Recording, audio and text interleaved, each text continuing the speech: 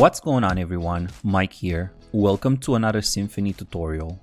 Today we're going to talk about page design, more specifically speed screens. We create speed screens in order to make our employees faster and more efficient. So what exactly is a speed screen? A speed screen is a specific area of the POS where we combine a lot of the common and most used items. And who uses these particular speed screens? We find these speed screens more often in fast-paced scenarios such as bar, clubs, or cafeterias.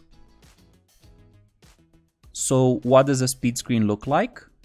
As you can see here on this particular screen, we have a combination of beers here at the top then liquors of all kinds combined. Then we have glasses of wine, rosés, champagnes, some regular drinks, and then some cocktails. Depending on the restaurant that you are running, you can also add food items here, appetizers, or anything else that you might need. So let's jump into EMC and see how we would program a speed screen. Alright, here we are in EMC. In order to program our speed screen, we have to open up page design. Now, page design can be accessed at all levels in Simphony, enterprise level, property, revenue center, or even the zone. Where you would like to add your speed screen is all up to you. It's a personal preference. I could, for example, if I just had a bar speed screen, I would be tempted to just add it at the bar revenue center level. But in order to do that, I would have to create an override for that particular page at the RVC level. And I don't want to do that. If you want to learn more about overrides, please check out our video on uh, creating and removing overrides. So I'm going to add mine at the enterprise level and then just open page design. Next, I'm going to open my transactions page. and I'm gonna change my aspect ratio to 16 to 9 to match my widescreen workstations. If we take a look here, we have a food section, a drink section, we already have a speed bar created, a functions area and payment. So basically what we wanna create is this area here. Now, depending on the items that you will sell the most, you, you can change these around, of course. You can even include menu items or anything else. So what all these buttons are, are individually hard-coded buttons. They are not screen lookups, the way we have them programmed for food and drink items. The idea here is to create an area in the screen where, for example, if somebody walks up to the bar and let's say it's a group of three people, they would like to order two beers, a glass of wine, and an appetizer, it would be very easy for the bartender to order all three items from the same screen as opposed to running around between the food screen appetizer section, then looking for the beer, then looking for the wine. So let's create a speed screen from scratch. The first thing that I'm gonna do is decide where I'm gonna place it. I'm just gonna use this top navigation bar here and add another item. So if you click your top navigation bar, you can just click the add navigation bar item hyperlink and then I'm gonna have to name it.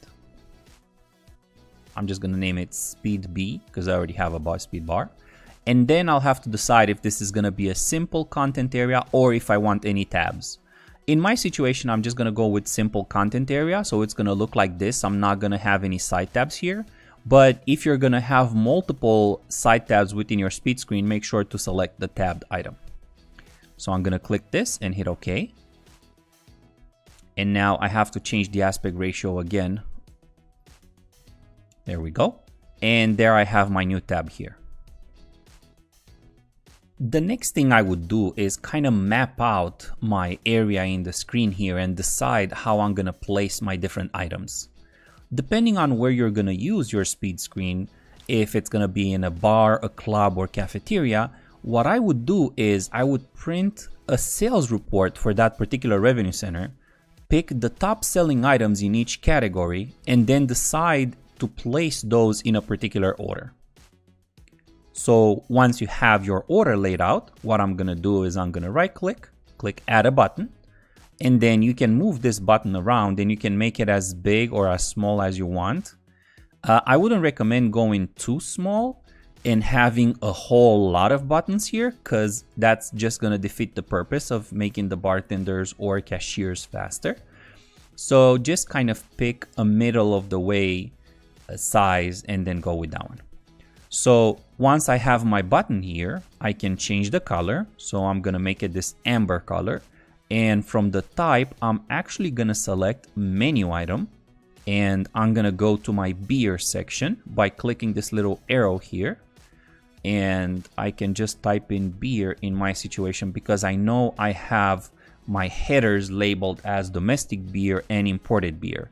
So see, I have here my domestic beer in the 35,000s and then I have my imported beer in the 36,000s. So I can erase the name from there and then I can just type in 35,000 and one.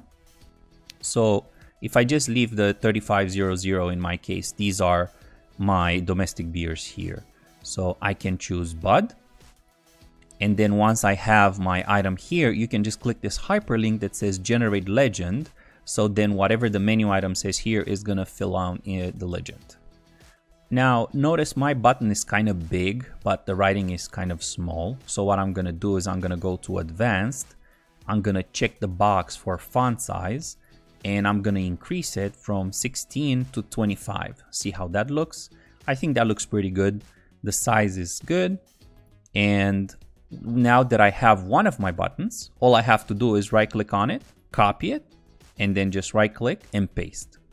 So now I have a copy of this button so I don't have to change the font size, change the color and make all the adjustment for the new one. It's already set as a menu item and so on.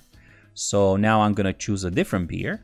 So I have my list here. So I'm gonna choose Coors Light for this one and then click generate legend and I have my second button then you can actually select two of these and copy both and then paste them and move them together here. So that way you get two buttons at the same time now that we can. And we'll go back to a different menu item, select Yuengling, and then click generate legend. And now let's go and let's choose another beer.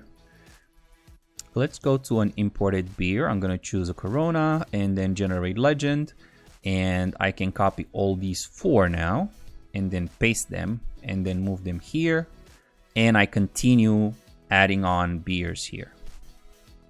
Other items you can add on your speed bar can be payment keys.